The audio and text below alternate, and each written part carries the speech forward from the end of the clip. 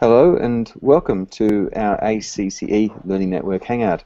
It's a place where we can connect with our PLN to share practice, ideas, and have a good old chinwag. It's a moment to network with friends across the world. And Jason, welcome, and thank you for taking over from Amanda. As per usual, if you're watching us live, then you can post a question to the panel and just go to http todaysmeet.com slash ACCELN and on Twitter using the ACCELN hashtag. This is Hangout number 28 for 2013. I am Roland Gesthuizen. I'm a high school teacher, e-learning leader in Victoria, Australia, and I'm also a state councillor on the ICT and Education Victoria, which will soon be renamed the DLT Vic, Digital Learning and Teaching Victoria. I'm excited by tonight's show as a fellow space geek and a fan of the work by all the different space nuts that I admire. I've also been busy this week pointing out things at a space camp. Um, we had a, um, it wasn't really a space camp, it was a scout camp, and I was busy pointing out satellites and planets. And there's an app that helps with that. And, uh, and I'm, I'll, I'll introduce uh, Jason. Jason. And I'm Jason Zagami, filling in for Amanda, who's um, a little bit ill tonight and I'm a lecturer at Griffith University and also been very involved in science and space education over many years. And back to Roland. Thank you. Now, tonight um, we've got uh, a couple of guests, and I'll get them introduce themselves from uh, left to right. There's our uh, guest for tonight, Peter. G'day, Roland. How are you? So uh, currently fellow Victorian, but I, I used to be up in Queensland uh, about 15 years ago. so I was born up there, moved down to Victoria in the year 2000. So uh, I'm a service and support manager in the IT industry, work for one of the big uh, corporates. Uh, I also um, have a telescope that um, is um, part of my passion in astronomy and uh, that's affiliated with itelescope.net through a community of users. So um, I own the telescope, but I share it out with the group um, to some subscriber paying members. And uh, we get a lot of great science done. And I've been doing a lot of work in education uh, with high schools over the last um, 12 months or so, um, just in my spare time. And uh, I've got three 10 ed kids at, uh, at a high school here in Victoria, and we've been doing a little bit of work with them. So we'll be discussing that a bit tonight. And and how to, you know, I guess what I've heard from you guys over the last couple of months is uh, the flat classroom and getting out of the way of your students and allowing them to embrace the technology and learn. So I'll be sharing how maybe I've put in a couple of um, those things to practice over the last couple of months. So not that I'm a classroom teacher, but I'm a parent helper at a local school, so with a telescope. So. Thanks, Peter. And you've been with us actually since uh, crikey, our early days when we were setting up the uh, ACCEL Learning Network. So it's great to have you on board. This time on the hot seat as a guest. Yes. Thank you. And Ziad, would you like to introduce yourself? Sure. Uh, my name is Ziad Baroudi. I'm an IT and maths teacher at a uh, uh, at an all-girls um, secondary college. I really don't know a lot about astronomy, but like a lot of people, I suppose I'm always fascinated to hear uh, stuff about it. So I'll probably be muting my microphone as soon as this intro finishes and just listening for the rest of the night. Um, I'm sure you think of some interesting questions. Um, now, we're here tonight to discuss space, and there's lots of it. I mean, more than you can imagine. This sounds like an opening for Hitchhiker's Guide to the Galaxy, Jason. And I know um, I'd like to perhaps ask you um, to introduce uh, Peter and ask him the first question. So, Peter, you've been astro- involved in astronomy and amateur astronomy and, and a variable star observer, and recently you've been working with students and classroom teachers. Can you tell us how science teachers can get their kids involved in real science projects? Yeah, I'd love to. Um, and perhaps I might just set, um, just spend two or three minutes just painting a bit of a picture for you of what's happening. Um, so astronomy today um, involves a lot of uh, citizen science. So I'm sure if you can see this. Um, this is a slide I've put together, so it's part of my my model of understanding of, of this space. And um, astronomy is, is an interesting thing because it captures people's imagination and passion. And uh, at the age of 15, I lay in the backyard. As a 15 year old boy, I was the lonely person in the backyard counting meteors at 1 o'clock in the morning in my sleeping bag. So, uh, Astronomy 1.0, if you like, um, was a long time ago now.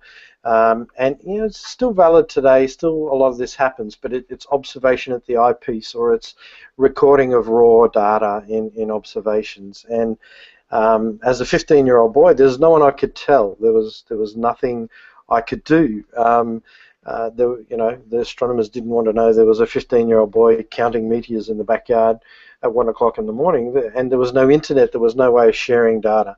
Um, John O'Sullivan at the CSIRO um, in 1998 was working on how to separate noise out in, in radio channels of his antenna and came up with what eventually led to the codec that uh, became the wireless internet codec today. Um, so as we moved from from astronomy being at the eyepiece or on a very lonely mountain somewhere, we now have in astronomy 2.0 we have um, space telescopes, we've got Hubble images being shared across the internet, we've got torrents of data being um, spread around, we've got leftover data from missions that the astronomers really don't know what to do with or they can't get to it because there's so much data. Um, and about this time, in the early stages of the internet, I'm sure Roland would have done this. I, I, I bet that he, he would have thought, mm, you know, that there was two guys at um, um, MIT, I think it was, um, and and they said, well, we've got these computers and the screens going funny. We need these screensavers, and I know, I know, what a good idea if we could get a screensaver to actually do something, like search for extraterrestrial intelligence. So the very first citizen science project was born uh, where you could download a piece of code and process some signals on your PC, and the data would go back um, to the scientists who would then, so it's been categorized or flagged for a point of interest. So in Astronomy 2.0, we've got um, you know the internet starting to get involved, people starting to engage with science, and now what I call 3.0, the virtual star parties and the hangouts like what we're doing tonight, we've got leftover data, we've got communities of interest, we've got pervasive social media, um, and we also now have telescopes in the cloud, where telescopes like mine you can log into from a classroom in Australia in broad daylight onto a tech, uh, uh, telescope in New Mexico where it's midnight and take photos of asteroids for you know a science mission. So what we've seen, and this is a very brief summary on this. I usually spend about 20 minutes on this, but um, there's a very brief summary of how astronomy has changed. All these things and parts of it are still valid today, but in uh, th there are different things coming to the fore now, and a lot of data that um, that's left over from missions that can be processed by the crowd. So within that context, we now have schools getting involved in citizen science projects.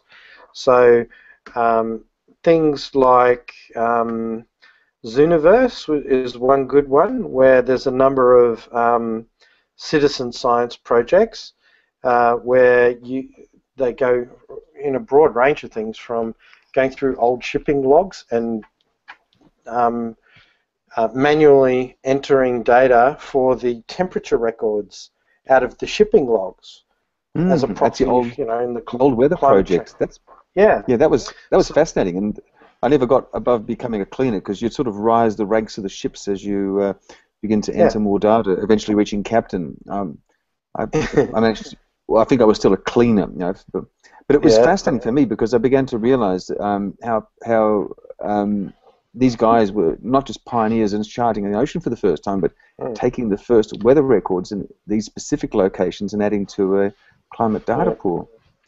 So, so one of the, the aspects to this is it's the gamification, if I could use that word, of the boring data collection. Um, so you know it, it kind of has a that role playing game as you, as you described. There's really interesting things like you know measuring. I think there was some ice ones. Um, at cosmoquest.org, we've got um, Dr. Pamela Gay, who's a very famous social media astronomer, and she's got a lot of um, uh, data there from missions around the Vesta probe that went to the asteroid Vesta, um, Mercury, and Moon Mapper. So uh, her students, um, and many of them are students, are, are measuring um, like the size of craters, and they get a little um, put their um, mouse and they measure the crater and put a ring around it, and then the ones that are on top of other craters are all, uh, sorry, younger craters than the bigger ones that are underneath. So they're getting an age map of the craters on the moon, as well as very precise um, measurements. And the the professional astronomers, when they engage the crowd in this manner, what they're looking for is to firstly get through truckloads of data that's going to tie up time on supercomputers. Uh, secondly, um, they can have less precise data so long as there's more of it and comparing between different users. So they'll average the results together uh, and still come out with valid information. So um, within the classroom, there's a number of these kind of things. Uh, CosmoQuest is just a, a, web page you can join and you can pull up the app and, and measure craters.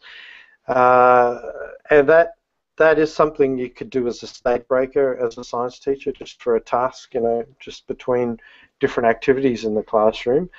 Uh, but there are other things you can do as well. Um, one of the ones I'm working on at the moment is probably a fairly advanced project, and I'm deliberately doing it with students to see, firstly, how much I can get away with. um, so that's that's Zooniverse, Z O O N I V E R S E. Just uh, thanks, Ziad, for the question there. Um, Z O O N I V E R S E. Yeah, that's right. Um, so, so what I'm doing is deliberately pushing the boundaries here. Know, I've sat in this forum, like many of you listening tonight have, and I've heard things like, "Don't stand in the way of your students' learning." get out of the way and let them use the technology and show you how much they can come up with. and and as I said, while I'm not a classroom teacher, I'm in there as a teacher helper uh, with an area of expertise, uh, and we're kind of tag teaming it with a very capable uh, teacher. Um, we, we are genuinely pushing the boundaries, and so rather than me spending three hours teaching the class about what the right ascension declination coordinate system is, what ephemeris tool is, what the minor planet center role does in modern astronomy, we split up into five groups and said, pull out your iPads, you go answer this three questions, like what is what is the role of the minor planet center and how do they help professional amateur astronomers work together? So hmm. that was a question for the group. And then they went and researched that for half an hour and came and presented back to the class. So I sort of scattered around the room and, and just made sure they're all on task. Um, another one, you know, how do you use an ephemeris tool to work out where to point a telescope at a target? Uh, so that was another one, and the group did a presentation back. Um, and in the next couple of days, you're going to see that one of the most staggering videos on the NASA website that it's just blown me away, where the um, how we got to do this was um, we were working with Arizona University on a project called Target Asteroids. Mm. So um, OSIRIS REx is a um, sample return mission that's going to go to a particular asteroid and bring a 60 gram sample back. But astronomers wanted to, or, or the mission controllers wanted to engage the amateur astronomers again, as I said, get less precise but a lot more data on the albedo of asteroids, i.e. the brightness and reflectivity of them, for those not familiar with the term, as they come past Earth and how that changes depending on the phase angle. So if it's coming in from this side and it's going out from that side, the the curve as it goes past, how the the brightness and reflection of that asteroid changes. So that helps them understand a lot about what the asteroid's made up of. So um, we are invited, I was working on this project through iTelescope and I've been doing a lot of research myself. And we thought we'd try it on with the students and just see what their take on it would be. And they absolutely loved it. And yes, it's scary to do something that advanced with, um, you know, a year eight and nine level, but um, they have embraced it and really gone after the learning and really feel quite excited about what they've been a part of the last two sessions that we've done. So, in the process of that, the Juno spacecraft was due to fly past Earth on the way to on the way to take some very nice photos of Jupiter in 2016. Um, and part of the process of what we've been doing was learning how to point a telescope at a target, which is what the ephemeris tool tells us to do. And this is the, uh, as you remember, the NASA, you know, a lot of their staff were down due to the government shutdown. Mm-hmm. Um, and they asked the OSIRIS-REx target asteroids community, could we help out with um, with um, getting some photos of Juno as it flew past, doing a slingshot acceleration past Earth on its way to Jupiter. And uh, here is what they came up with. So on their iPads, they were able to log on to NASA JPL website and they were able to get the correct position. And that night, my daughter loaded up the telescope with me and uh, we pointed it at, at their target, not mine. And they got it right.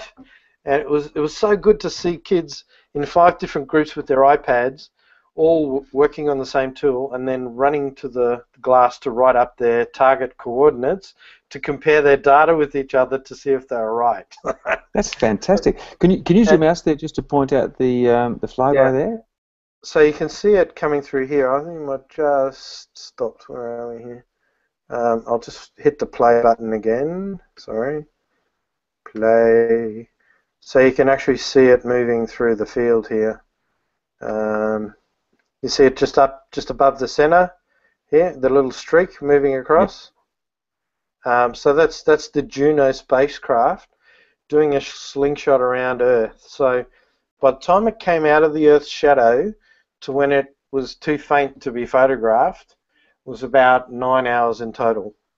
So we they did very very well to get that, and uh, very excited. I tell you what, there's one excited principal at the school. Peter, it reminds me when um, many years ago, I'm giving my age away here. Um, I read it in the uh, local newspaper that the um, Skylab was doing a last flyover Melbourne before it was going to swing around the world and then disintegrate back on Australia. And uh, um, I was really lucky to be able to sit down and sort of poke a glimpse through the clouds to see this um, mm. Bright light streaking through the sky. And that was a big thing at that time. Um, yeah and I, I, guess now what you've done is you've been able to sort of bridge it in with the kids, and they begin to start, they begin to see mm. things perhaps a bit differently, don't they? With um, the heavens aren't just this empty void, um, places where people can yes. live, work, and study. Yeah, and and they're they're finding it. Um, it's been really interesting for them to um, to target. I'll just show you one more image here. Uh, this is one of an asteroid that we photographed, and we reported the position. Um, so you can see here in the blue uh, where the blue crosshairs are. Here, I'll just mm-hmm. sorry get this. See here in the blue crosshairs. Yep. Um, you see the little dot there. That's the asteroid, um, and this is a stack of 15 images um, stacked for the movement of the asteroids. So the background stars are actually streamed here. Um, and then you get a position of the known position of the reference stars and then where the asteroid is and this is what we call astrometry so the position of moving objects so they've been having some pretty uh, and you know I've been surprised at just how effectively they can be given a task and go away and use their research tools today to come back with some really quite well constructed answers to those questions. Mm. And then uh, it's about the fluency of understanding what it is that they're doing. So we went through the basic concepts um, of, well, where do you point your telescope? Why is it important to know where your telescope is on the face of the Earth? Because um, depending on where you are on the Earth, um, these tools that tell you where targets are have to be referenced to where you are. So you need your latitude and longitude and observatory code. And one of the questions was, what is an observatory code for? and one of the kids came up with this this um, beautiful example. It was like a name tag for observatories. you know, and, and, I thought it was it was such a simple concept. You know, um, that an observatory code. So an observatory code is like my telescope's at H06, and that H06 tells the Minor Planet Center that its latitude, longitude, its altitude above the Earth, so that when they are creating target lists for, you can put in, you don't have to type in the latitude and longitude and the altitude every time. You can just type in your observatory code, um, and it helps them separate out my data from someone else, right? So, and and these kids come up with this fantastic concept well, the observatory code's like a name tag for your observatory. And I'd never thought of it like that before, but it was such a beautiful description. So you can see um, this was the asteroid, and we reported this into the uh, Target Asteroids mission. So um, you had a question there, Roland. Um, yeah, so the question I'm thinking of is question? about data and terminology because yeah. there's a lot of there's a lot of words that astronomers throw around like latitude and azimuth and elevation, and, and, I, and I wonder you've obviously got a way of being able to tell it to people without scaring them off. Um, I mean, we, we tend to throw away those terms when I'm talking about mm. um, the periodic table, um, atomic mass, mm. um, atom radius. And, and I wonder, how do you introduce these ideas in astronomy in a way that builds up a love of astronomy without scaring them off the technology or, or just making that bar so high that um, the kids don't mm. connect with it? Yeah, and, and it's I, th- I really think it's a balancing act between um, like not everyone can probably do what I've done, mm-hmm. but what I'm trying to show to classroom teachers that I encounter is that you know, well, it might not always be about their science or the astronomy, but you can take uh, a teacher of the deaf and bring in a cochlear expert and talk about, you know, that sort of technology, or you could have a reading club and bring in a famous author and put that author in front of the class and have a discussion around writing techniques or so I think that the power is in the technology and the platform, what it brings into the classroom. And I'm deliberately pushing the boundaries just to see how this space works. Um, because you know, with with iTelescope, I work with with a number of high schools. I've got one in Marinskaya in the Ukraine, and there's a PhD astronomy student who's I think also ballerina um, in the Ukraine, and amazingly energetic young lady who just mentors the class. And the class, I mean, this class are driving her. She's not driving them. and this this was a real lump in the throat moment for me. There's a guy called Maxim at Marinskaya High School in Ukraine, and you know he he applied for a grant, and we granted him some time on the telescopes, and he's discovered seven new variable stars as part of him, he and another girl who's working with him in the school. It's just a very small group. They've discovered seven new variable stars, a pulsating one, a couple of eclipsing binaries, and one, one or two that are actually quite interesting and need a bit more study. And you know, Roland, I had a lump in my throat when I heard the story behind it was that he's applying for a university in Ukraine next year and he wants to improve the quality of his resume to make sure he gets into a good university. And he's discovered seven variable stars as an 18 year old. Now, I've had two conversations with his mentor. so it's out of control. I can't stop it. It's just going off. All right. So, so yes, there's, you know, I mean, there's two ways of looking at this. A science teacher might look at me and go, oh my god, why the hell are they letting him near my class? right? But you know, but hey, let, let's let's step back and, and look at the big picture and say, you know, there are people out there in every school who have skills who could come into your classes and help you. You know, through be it a parent helper or a or a local community where you know you can go through the process and getting your child safe um, certificate and all that sort of stuff and going through the proper channels and, and all that. But um, it's just been great, and the kids are responding to this like you wouldn't believe. They they're really enjoying it. I'm getting text messages at night from parents like, "What the hell did you do with my kids today? They can't stop talking about it." oh, that's wonderful, and that, that and that know, speaks really well for the way that you. quite exciting. You, you know what? The, the debate's been around for a long time. You know, I, I'm sure that when Galileo um, sort of um, showed the first bunch of um, priests generals his um, moons around Jupiter with his telescope there, I'm, I'm sure when they stepped away there, I mean, they would have said, you know, is this guy for real? Look at it. Mm. And besides, where does it fit in? I mean, is it is it optics? I mean, I mean, the astrologers are going to have hell if they're going to try and have to cope with this stuff as well. Um, Mm. We don't have this discipline, and I'm sure that in some ways, um, charting these new areas are going to be interesting for science teachers because um, astronomy hasn't rated highly in the, the curriculum. Um, it's not No. seen as relevant for some people because, well, that, that kind of stuff is out there. Yeah, yeah. So, so what I'm really sort of pushing the boundaries for quite deliberately is try, trying to look for a pathway here, because you know we've got the square kilometre array coming in in Australia. Um, the kids who are going to work on that sort of aren't even in high school yet.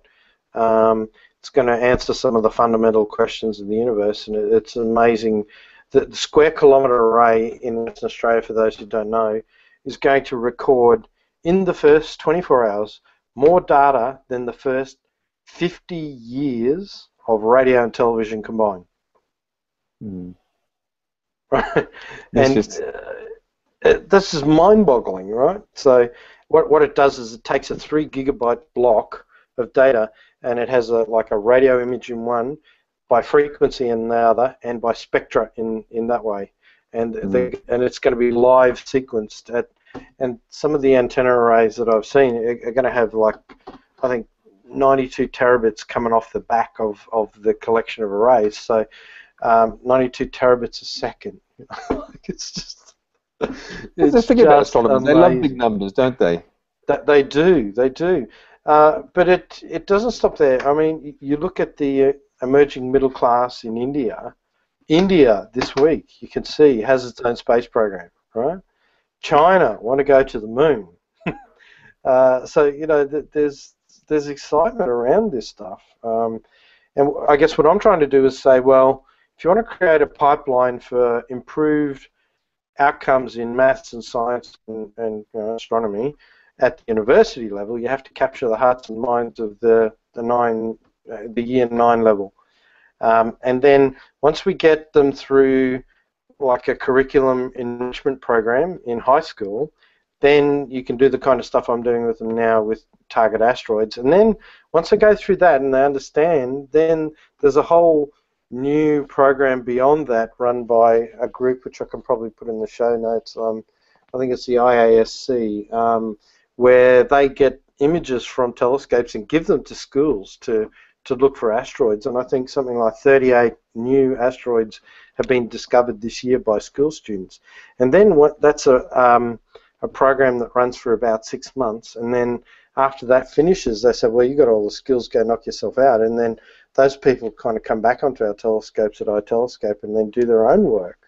Um, and you know, this only this week I've been tracking an asteroid, uh, which is uh, you know got a rating one on the Torino scale at the moment, which means that potentially there's a virtual impact there sometime down the track. So um, we'll probably remove that off the risk table within the month, but um, it's being watched closely by people who are amateur astronomers who have the skills to do that sort of stuff. Peter, um, So when I was in the States, on my soapbox, so I'll let you ask some questions. yeah, when I was in the States, there was a um, an observatory, um, not Mount Wilson. Um, oh bother! Now it's just left me. And I remember that the chap who built it was really keen for the general population to stand behind a telescope and have a look. And he thought it was such an awe-opening, inspiring experience. Um, perhaps you know the process of belittling someone or, or seeing the grandeur of the universe that um, it sort of put into perspective all of the problems that um, people are squabbling over here. Um, do you find that that's enough? That um, just simply you know, sticking your nose in the end of a telescope is enough of an engagement that someone needs to have, or do you want to take them that step further, being able to look at Hmm. becoming part of a the community of scientists collecting data or um, making measurements of asteroids? Yeah, and it's a really good question. I, I guess I started out um, working, you know, at the school my kids go to, just taking a small telescope in and setting it up in the class and helping the kids understand, you know, uh, the difference between an equatorial mount and a and a um, you know uh, altazimuth mount. Um, that, and that was and we had then an observation session a couple of nights later, and you know the kids loved that and the the aha moment when they look into the telescope and then they come back and look up and go, no, no, that's not right. And they look again and they look and they look. Um, when they see the rings of Saturn or the moons of Jupiter for the first time, you know, it, it is something. And I think what the emotion of astronomy is is that um, and I look at it like this, you know, it's out there. We can't touch it. We can't pollute it. We can't mess it up. it's kind of unreachable, and all we can do is look at it and measure it and photograph it. And uh, uh you know, if you think of it like that, um, you know, we, we can walk through the local gorge in our national park, but you know, we can touch that and we can muck it up and do that. With astronomy, it's kind of the untouchable, unreachable um, last frontier, but we can watch it and measure it and and be in awe of it. And I, I think that's that's where I get my passion for it from, I guess. To be part so of something Pete, bigger. Hmm. Hmm. So, Peter, how, how do you go about getting um, teachers and then their students involved in um, these sort of projects? Yeah, well, you know, I guess um, the school that I'm working with at the moment here locally um, is quite passionate. Um, um, you know, they have uh, an extension program for the kids, and, and, this is part of that program. Uh, that you know, there's science teachers in schools who who are passionate people. Sometimes, I mean, one of the other teachers that I've worked with previously had their own telescope I mean, there's a school, another private school just down the road from us that's got their own little dome and telescope and observatory, and there's a science teacher there who's very passionate about astronomy as well. And so I think, um, you know, where do you start? And you know, I, I kind of say, well, look, I'm always very clear with the classroom teacher that, hey, I'm not a qualified teacher. I'm not here to tell you how to teach. I mean, you you are the best of the best. Otherwise, you know, I wouldn't be allowed to be working with you. And I just encourage them that you know that technology is changing. There's a lot of things you can bring into the classroom now, and you know wouldn't something like this you know look good in your resume in terms of you, um, you know, bringing in some new thinking into your school. And I'm always very wary uh, not to make try and not make it look too scary for them because I'm married to a teacher. I know how hard they work and you know, when some bright spark comes in with a great new idea, sometimes it looks like more work, and uh, how can I fit that in with all my marking and all my other workloads? And uh, it, you know, it's about running with them at the pace that they want to run, without being a burden on them or holding them back, but just just putting the next step for them out in front of them, and running at the pace they want to go. And like I've I've got teachers. Um, uh, there's one at um, in Perpignan, France, where where they also did some variable star astronomy, and uh, you know the kids there are amazing. Every time they sent me a question, they'd already found the answer to it themselves by the time I got back to them. so, so that they were quite incredible to uh, to work with. So. Hmm. And uh, Ziad, do you want to ask the next question? Sure, why not? Uh, you mentioned something about a private school that has um, its own observatory or something like that. Um, but at the same time, you're talking about a lot of things that people can do on their computers. So, well, where is a good starting point as far as equipment is concerned for a school that's interested? Yeah, well, I mean, there's nothing worse than spending sixty thousand dollars on a telescope and a dome and mm-hmm. um, setting it all up and having people pouring all over it. It's shiny and looks great, and and then a teacher gets transferred out of the school and no one else knows how to run. Um, not, not, that that would happen, but I'm just saying, you know, it, it's potentially there. But I, I, think there's a good approach in that, in having the hands-on and the, um, you know the the wow factor of being able to you know operate it yourself and you know learn the basic techniques and and having a good leader within the school who can champion that is, is a great thing and I wouldn't knock it for a minute um, but not every school has the resources to do that right so they don't they may not they might have someone who's you know champion equestrian show jumper on the teaching staff, and that might be their passion, but then they're not into this science or something like that. So it, it depends on the, the interest level, I guess, within the school that you have and what you can tap into from the parent community. So one of the things, um, you know, Yarra here, we, we've got a, a parent spirit community where the parents can set up different groups for the school. So there's one for equestrian, there's one for tennis, there's one for music, um, I'm hoping to begin to start one for science so that you can support the classroom teachers with the capabilities to actually, you know, tease tease out the boundaries a little bit here. Um, yeah. The other answer to your question is that there's a lot of resources online. So for a teacher that you know doesn't know a lot about astronomy, you still got CosmoQuest and Zooniverse and some of those online um, data categorization tools that you can use just as a little um, you know state play game within your science class just to break up the mm-hmm. flow a bit but you can easily take one little unit of that like measuring craters on the moon and stick it into your science thing when you're studying the moon um, sure. the, but you'll also find that as you reach out into the CosmoQuest has a lot of curriculum development activities um, where they're starting to put curriculum online for teachers. They're starting to run courses to help teachers understand uh, what they can do. And, and a simple one is is um, uh, they do the, the, the crater measurements with, with the tool, but they also get um, I think it's flour and cocoa. You've probably done this, Roland, and, and drop marbles yeah. into it and watch the craters actually happen and how they oh, age over the period of a week, you know, when there's little vibrations in the classroom and stuff like that, or, or they blow on it with wind, um, and see how those craters change. So, so these are things that are available on CosmoQuest, and some of NASA's got a very good education curriculum library. Um, so, you know, as I said before, I'm deliberately pushing the boundaries to see how far we can take this, um, but I'm always cognizant of the fact that there are simple steps that every teacher can do to get um, you know their toe in the water. Mm-hmm. Thank you very much.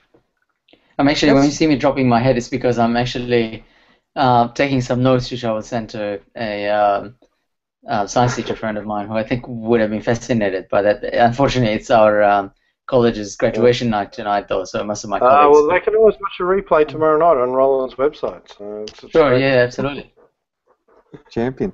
I remember um, we we had a telescope that was only ever used to look at ants on the other side of the football oval. Um, it was a pity that um, because of the Gippsland fires, we lost our school camp in the fires, and the telescope went. Um, we then were left with um, just the posters that were sort of dating post Apollo and the um, early science projects. What's interesting though is that we they had a Galileo project and we built our own little telescope, and mm. there were some really good questions from the kids. They were stunned that the picture was upside down, and uh, how he'd managed to conduct all this astronomy, you know, flipping it around in his mind, and uh, then about the idea of um, making that simple observation of the changing shape of Venus into a crescent, into realizing about Earth's place in space, and then um, the moons of Jupiter, realizing there may be other planetary bodies. And so um, taking along on that journey was really powerful for us. And we did that in the classroom with nothing more than some mm. simple tools and mm. um, optical instruments and um, asking questions. We did go from that, though. Um, we had the chance to put together some of the ideas that we had into a dance. Um, and I had a wonderful uh, friend called Ross Burnett from the uh, cosmology division um, send us some notes. The kids thought the funniest one was that one of the questions they sent him was uh, what's the universe made of? Mm. And he indicated it was really made of um, just one element, hydrogen, with some minor contaminants. mm. And I think that um, for us, it was really powerful to be able to um, conduct um, those questions and to do it in a way that um, explores it. But I guess I'm lucky. I, I, have that kind of passion and enthusiasm, Peter. Mm. We, we all have those lucky breaks when uh, we get uh, someone who can give us a chance and a leg up into that sort of um, thinking of the universe. Um, Jason, um, you've had some experience of NASA too, haven't you? Um, yes, over many years I taught um, space education. I was lucky enough to teach in a private school where we could actually create our own units. So I created a couple of units on space education and on robotics and a few others. But I was selected to go to a um, one of the biannual, or semi-annual um, astronomy conferences where all the astronomers from all around the world gathered together. And this time it was on Hamilton Island, and they chose six Australian and six US teachers to go along. And we got to spend two weeks there with all the astronomers, and in particular with um, Jill Tarter, who was in contact, and um, Alan Drake, who did the Drake equation for working out the potential for life to be detected on other planets. And we oh. spent quite a long time with the guys from NASA looking at all the resources they had and trying to come up with programs that could be implemented in schools.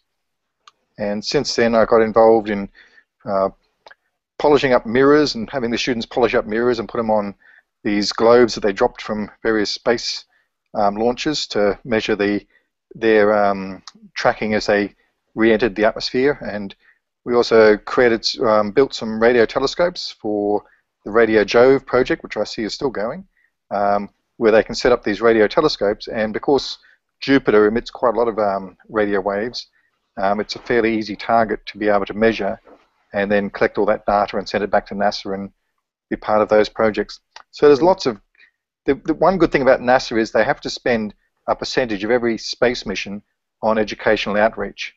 And since their space missions often have budgets in the billions, that means they have almost every single mission has a, has a million dollars or so that they're spending on outreach programs for students. And so there's mm. lots and lots of resources that they, they produce for that. Mm. So one of the challenges at the moment, I think, is with the in the sequestration. A lot of those education budgets are being collected up into a single pile, and I'm not sure that uh, there's a lot of um, discussion at the moment about how effective the, the proposals are for where that's going to head in the next couple of years, I think. So there's, there's a few. Yes, nervous, they have had cutbacks. Um, yeah. But at the moment, it's still legislated that they have to spend that percentage mm. on educational outreach. So until they change that, um, that money will still be being allocated, even though it's a smaller pie. There's still an mm. amount being allocated for education. Mm. I think there's a good lesson for Australia that when we have these major initiatives that we think about how to just invest it back into a younger generation. Um, what do you reckon, Peter? When we're not just talking about the um, uh, you know the, the, the construction of a large network or uh, um, resource that you actually put aside something for schools, so it doesn't get trimmed out and um, and then left up to a, a few scientists to cobble together a display um, out of uh, polystyrene to explain the gaps. Um, I had um, a wonderful trip back from um, Queensland, um, and I had a chance to do some space science. Now, mine don't look anything like yours, and I don't have any computers or graphics. I just had my old clappy out camera. But I wonder if I could share that if it's all right here. Um, yeah, sure, sure. Okay, I'd like some honest feedback here. So um, I've got here my professional astronomer. Yes, absolutely. Yeah, these are with my, my kids here. So um, I'll just get the screen share going here. Mm-hmm. Here we go. So here's my um, first picture here, and uh, this is um, one I took with uh, Kerins, good friend of mine in oh, yeah. um, in Brisbane. And can you make out the constellation there? Yep. Was that Scorpio heading to the horizon? Yeah, that's Scorpio there. With Venus, yeah, that's, Venus. That's right. Uh, Venus is a bright one, yeah, because I that would have been taken only a few days ago, I would suspect. Thank you. That's right. And uh, um, I just, I, just I, know because I know where Venus is like this week. So, ah, awesome. so I was looking at it now, last week. Myself. Question is: Are the colours real, or they an artifact of the camera, or? Um... Yeah, no, no. The colours are quite real. So um, just near Um, the one up from Venus, I think there is probably uh, Antares, which has got a quite a reddish colour. Yep. That's a very bright red, and then some of the ones in the in the tail are a little bit yellow and blue. So yeah, no, that's, that's a good image. Um, you probably Thank you. find if you open it up in one of the photo editing and just adjust the levels a little bit, you can might bring a little bit more out of that. Yeah, I have to try and Um, get some of that background noise out. Um, that was Yeah. like, that, was just before the battery died in the camera. I, I'd taken so many Yeah. photos at the QSite conference, there was barely any juice left in my camera for astrophotography. But I managed to get that one out of the way. Um, and then on the drive home, we passed this thing by the road, and you might have seen it Mm. before. That's Oh the- yes, yes, the um, uh, space drive. Yeah, the space trail, and that was fun. There's, there's some geocaches, Yeah. I think, hidden behind that tree there. Um, Yeah. and um, it was a great way to actually drive along a highway and realize how empty space is. I mean, this looks big, but we'd been driving for a good, I think, um, hour um, away from the large one that represented the sun. Yeah, so for those unfamiliar with it, it's um, I think the tourism marketing in Coonabarabran um, Mm. Uh, placed up and down the Newell Highway at proportional distances between the planets, where the sun is actually at the um, Siding Springs Observatory. Um, Earth is about halfway down the hill, um, and in town, I think, is Saturn. Uh, oh no, no, um, Ju- Mars, I think, and Yep. then Jupiter's just outside of town. And I think then the junction to the Oxley Highway is where Saturn is Mm. and Uranus and I think Neptune's at Bagata, just almost on the Queensland border, just south of Moree. Uh, I, actually, no, that might be Pluto when it was still a planet, because it was built when Pluto was still a planet. And um, My kids were most upset. still got it. Yeah, the kids were most upset. In the fine print, a wasn't qualified as a planet. dwarf Yeah. planet now. And this is probably one of my better ones. This, if you stop your car. Yeah. and here we go. There's one of my better ones here, and that's from the uh, Um. I, I backed off a little bit on the um, exposure, and this is out in outback Australia. And I recommend anyone who goes out into outback Australia, get your cameras out and have a go at it. Um, I was wrapped at the colours and the space lanes. That you can actually start to see the Hmm. dust lanes there, and uh, it took Can a lot of photos. Can you just reshare that to the big screen? Settings. Roland, because it's not Yep. coming up on the Okay, coming up on the big screen. there we go. Um, that's the Uh, top of the um, Saturn. Uh, just check again. Might Peter, if you off. click on this thumbnail, it'll stay there for you. Yeah, I'm There we go. doing. Ah, there we go. Got it. There we go. Okay. So you can actually see the, some of the dust lanes there. Yeah, that's um, great. Yeah. And, and that was that was good fun. And it, it didn't take too many photos once I got the hang of my camera settings. Um, Yeah. Just varying things and um, playing around with it. And there again, you can see the, the hook of the um, Scorpio. And it was just fun. And for my kids to sit down at the um, at night and look up, um, that to me, I guess, was the um, you know, the lesson for my children. Um, away from the big city lights, you can see a hell of a lot more. Just maybe take the trouble to um, look up. Mm. And yeah, and, and people don't realise until they go to a dark sky site and really, um, you know, have a look at um, uh, what, a, what a real dark sky Siding Springs is amazing, amazing up there. You go up to Siding Spring and it's just, um, you know, if you're outside at night with um, when there's no moon, you, you, you literally can't see your hand in front of your face. It's that dark. It's um, it's quite amazing, and to see the Milky Way just right across the galaxy, across the sky like that is, is quite amazing. Now, Uh, As you- long you as there's no bushfires. Yeah, it's just, yeah.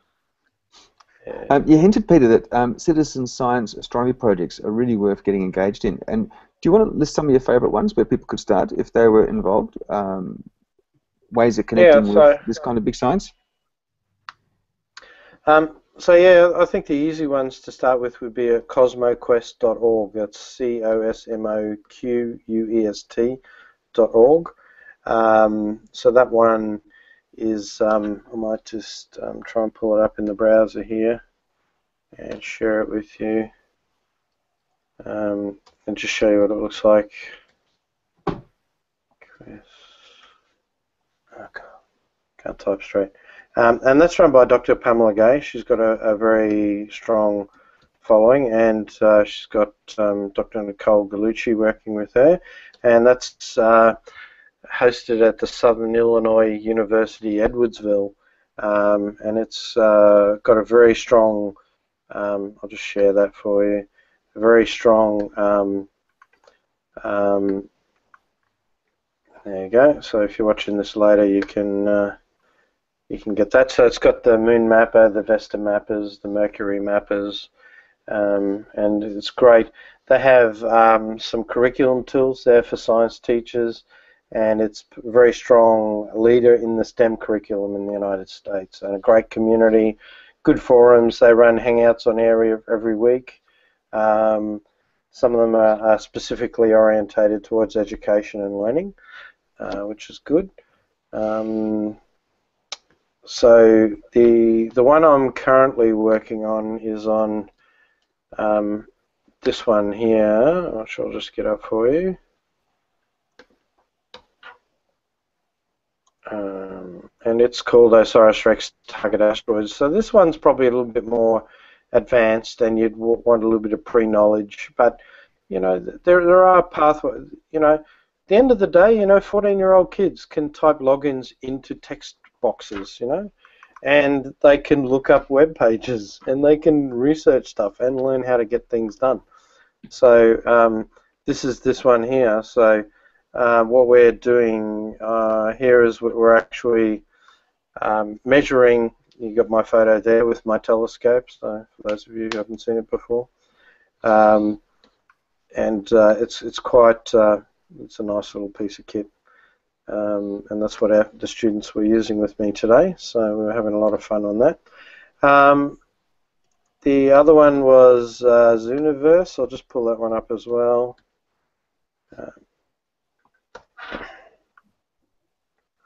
Um, and this this one's a bit broader than just astronomy. It started out with uh, a galaxy categorization. Um, so Galaxy Zoo was the first one, and now they've got a lot of um, other ones. You know, so how do stars, you know, gravitational lensing, They've still got a lot of good astronomy ones, but then they've got other ones on climate, humanities, nature, and biology as well. So there's like genetic, you know, they can do protein folding to help uh, find cures for cancer, um, all, all, these kind of things. And, and you know, these capture. Um, I, I, think one of the big aha moments for me was when my own daughter was beavering away on a laptop, and the grandparents were staying with us, and Pappy came over and said, you know, what are you doing? And she said, oh, you know, I'm just doing um, knee replacement surgery. Because she got bored with hip replacement surgery on EdHeads. I, I, think it was a site called EdHeads. I think, Roland, you'd know that one. Um, yes. And, uh, you know, there's a virtual surgery unit in there, and you can do all these funny stuff. And, you know, her knowledge of um, of science and and uh, you know stuff is just extraordinary. Uh, and and yet you talk to teenage kids and and they they love. My middle daughter, she loves um, cells and biology and stuff like that. But you know, we sat down and had a conversation. She said, "What, well, you know, you're going to do that at university as well?" I don't really understand what a job in that looks like. You know, I, I don't know you know, I really like cells, but I don't know what you do with cells, you know, to raise a family and have a career. So mm. It was kind of, and that, that was a bit of an interesting moment for me as a parent because I, I looked at saying, well, eh, well, how do, how do you create the link? You know, how, how do you actually um, get them to a point where they can actually identify um, with, um, um you know, a career path for, for some of these things. So so in terms of, um, um, and I, I used an example for her. I said, well, look, you're really good at art and design, and you love cells, right? So what what might that look like in the future? And you know, we we're seeing now where 3D printers in 10 years from now, they're hoping that they'll be able to print kidneys with stem cells from you know a host to actually create a kidney replacement, um, and that will involve knowledge of cells and how they work, but it also not involve knowledge of CAD and design and artistic sort of flair in, in building those kind of things. So I said to her, I said, well, you know, you love cells, you're good at art, but out there in the future is a job that's going to bring those two things together that hasn't even been invented yet. Mm. Right? So, uh, and I think when you have conversations like that, for, for me, you know, when I went to school, you know, I thought, oh, I'd love to be an astronomer, but, but I'm no good at maths, and there's only one astronomer in the country, you know, and as a teenager, it's sort of, you know, I took a very different path to get back to where I am now today. Uh, so it was quite um, different, you know, the corporate route and then coming back as a as an amateur astronomer, helping the professionals, sort of, rather than being the, you know, the the university geek for ten years to, you know, to do that. Um, so, you know, I think these are the conversations we have. You know, how do we engage people in science with the hearts and minds at the level they're at, where where the, they're starting to think about their future, and, and, helping them paint a picture that one, this is fun. Two, it can actually be used for real stuff, and three, here's some um, projects you can get involved in right now that can help you develop your own knowledge and passion in the area. So, I guess for me that that's you know my approach to it, but. I'll be happy to hear from anyone else who's uh, got different approaches. Oh, thank you very much, mate. Um, what I might do, I'm just conscious of the time here, and I just might just um, do a bit of a wrap and put together some of our ideas, mate. Um, mm. I'd like to do it traditionally starting from left to right, but just looking at tonight, I might start from right to left. So perhaps just some closing thoughts, um, starting with uh, Ziad. Okay, I was really, really fascinated by tonight. Thank you very much, Peter. And uh, you know, it's it's great work that you're doing with the schools that uh, you're getting involved with. Um, I've certainly been taking notes uh, as I've been listening, and I'm definitely going to be sharing them with the science department at my school. Um, this sort of stuff is just really, really good, and actually um, is giving me ideas about, you know, getting people, outside people involved, um, even within my own area, uh, which is not science, but um, mm still well i mean it is a, a manner of science but it's not the same. It's not the physical sciences. Um, still yeah thank you very much. Mm. peter i mean ever since we sat around the campfire the stone age campfire you know we would gaze at our worlds from the ground up. I mean we're looking for patterns in space. It was a chance to ask questions about our place in time and space. And it was great for us to expand our minds and perspectives and I often think that's where some of these different renaissances in science kind of happen, is, is around those campfires looking up. Mm. What you've reminded me tonight is the challenges that we face when we teach difficult concepts, that we need to really carefully scaffold the learning. And it's mm. easy to ignore this, and we end up dumbing down really powerful ideas that should be understood. Um, I mean, imagine teaching about planets but avoiding mentioning gravity, orbits, or the speed of light. I mean, it just turns it into a sort of like a, an alphabet soup. You've also reminded me that teachers don't need to be astronomy experts you know, to get this working in the classroom. I mean, they can bring amateur professionals like you into their classroom, and that's exciting. I mean, that's real world stuff. I mean, tonight you shared your love of big ideas and big numbers, and I owe you a big thank you for coming along tonight. Mm.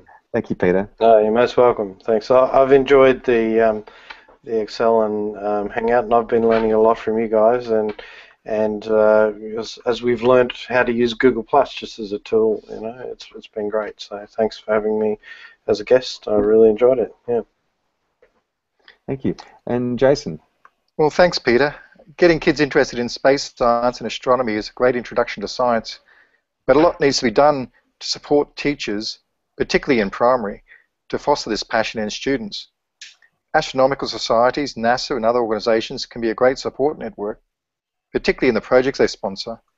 But mm. as with the projects you've been sort of doing, even just taking kids out with a small telescope for an astronomy night, or making their own simple telescopes, or making moon observations over a month and drawing them, can be great stepping stones to more adventurous projects such as making radio telescopes, um, controlling remote telescopes, launching rockets, and all the other fun things.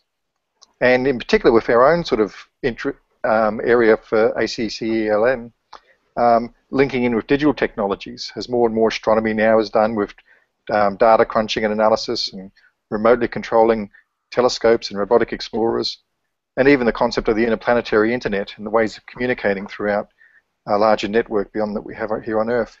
So thanks very much for giving us an insight into some of the great things happening in the world of astronomy and how it's linking in with what's happening in education. Hmm. And next week we're going to um, have Karen Swift, who will be talking about um, the ACCE 2014 study tour. Karen's taken study tours to the United States for the last um, three years now, I think, and it's a great experience to come go along and attend a large international conference and visit lots of interesting locations and schools, including Google and Apple and various other headquarters of the major corporations. So remember, you can check the ACCELN homepage for more information in the coming days. And if you'd like to join the panel, let Roland and Amanda know. And if you want to view past Hangout recordings, you can go to http dot dot forward slash forward slash acceln dot wikispaces dot com. And we look forward to seeing you then. Thank you to my guest and tonight to Peter. Goodbye, everyone. Thank you. Good night. Good night.